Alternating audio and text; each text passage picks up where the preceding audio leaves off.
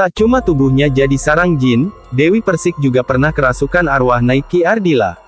Ucapannya merinding. Berita tentang penyanyi dangdut cantik, Dewi Persik sedang menjadi kabar panas pada beberapa waktu terakhir saat dirinya digugat cerai sang suami, Angga Wijaya.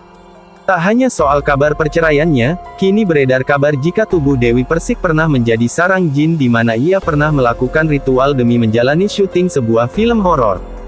Hal itu diungkap Ustaz Danu dalam sebuah acara TV. Tak berhenti sampai di situ, kini terungkap pula jika Dewi Persik pernah kerasukan arwah Naiki Ardila saat dirinya sedang melakukan syuting di kediaman penyanyi legendaris tersebut. Pada beberapa waktu lalu, pedangdut cantik ini bersama keponakannya, Lebi Wilayati mendatangi Museum Naiki Ardila yang berada di komplek Arya Graha, Jalan Arya Utama nomor 5, Cipamokolan, Kecamatan Rancasari, Kota Bandung. Bersama ahli spiritual Kisukma Wijaya Al-Hikmah, Dewi Persik dan Lebi masuk ke kamar almarhumah Naiki yang dihiasi dengan barang-barang peninggalan mendiang semasa hidupnya. Pada kesempatan tersebut, Dewi pun menunjukkan barang-barang serta histori di baliknya, salah satunya adalah pakaian yang dikenakan Naiki beberapa jam sebelum meninggal. Kerasukan arwah Naiki Ardila pada kesempatan tersebut, Dewi sempat kerasukan arwah yang menyebut dirinya sebagai almarhumah Naiki. Dipandu oleh Kisukma yang mencoba mengobrol, Dewi nampak duduk dengan tatapan kosong. Kisuka pun bertanya pada sosok di dalam diri Dewi dan sudah berapa lama tinggal di kediaman Naiki tersebut.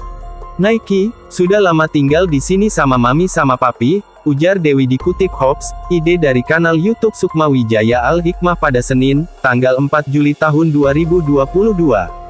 Hal ini membuat keponakannya, Lebi nampak syok dan berusaha terus mendampingi Dewi Persik meski terlihat ketakutan. Tubuh Dewi Persik disebut menjadi sarang jin. Dalam sebuah acara, Dewi pernah mengungkapkan pada ustaz sekaligus spiritual, Ustaz Danu, jika beberapa bagian tubuhnya sering terasa berat dan sakit. Ada terasa berat dan sakit di bagian punggung, tapi jarang-jarang, ungkap Dewi Persik dikutip dari kanal YouTube Investigasi Artis pada Senin, tanggal 4 Juli tahun 2022. Pelantun janji manis ini mengungkapkan jika dirinya pernah melakukan ritual mandi kembang untuk kebutuhan syuting bermian film horor. Ternyata hal tersebut melatar belakangi dan memancing kehadiran makhluk halus. Ritual itu seperti mandi kembang, tapi dilakukan untuk kebutuhan syuting film horor, Pak Ustaz, kata Dewi Persik. Apa pun motifnya, selama hal itu berhubungan dengan hal gaib, pastinya akan memancing makhluk halus untuk menempel, timpal Ustaz Danu. Respons netizen. Melihat Dewi Persik kerasukan arwah Naiki Ardila, beberapa netizen memberikan komentarnya dan mengaku merinding dengan hal tersebut. Suaranya Mbak DP pas kerasukan jadi serem BGT ya Allah jadi merinding, ujar salah seorang netizen. Arwah manusia cuma ada di alam barzah. Menunggu pengadilan akhirat. Semoga teh semoga Naiki bahagia di alamnya amin, komentar netizen lainnya. Sesungguhnya seseorang yang telah meninggal dunia ruhnya akan kembali kepada zat yang menciptakannya. Ia akan ditempatkan di suatu alam yang berbeda yaitu alam barzah, dan akan tetap berada di sana menunggu datangnya hari kebangkitan kiamat tulis netizen lainnya di kolom komentar.